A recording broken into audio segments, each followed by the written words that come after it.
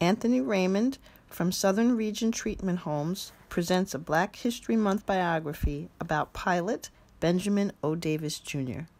African American hero Benjamin O. Davis Jr., how this African American pilot helped fly the United States to victory.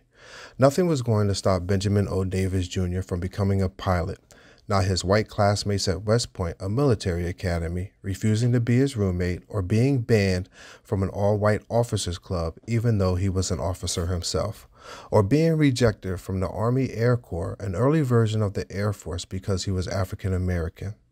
Until the late 1940s, the U.S. military was segregated, meaning that black and white soldiers served in separate units.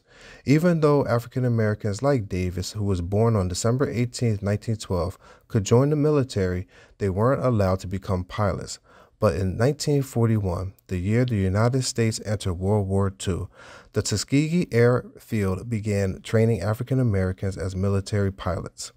Davis was part of the first graduating class and immediately given a command of a unit of all black pilots. He later commanded an even larger group. His men bravely flew into enemy territory in Germany and Italy, successfully completing many dangerous missions. Known as the Tuskegee Airmen, the African American pilots proved they were just as skilled as white pilots.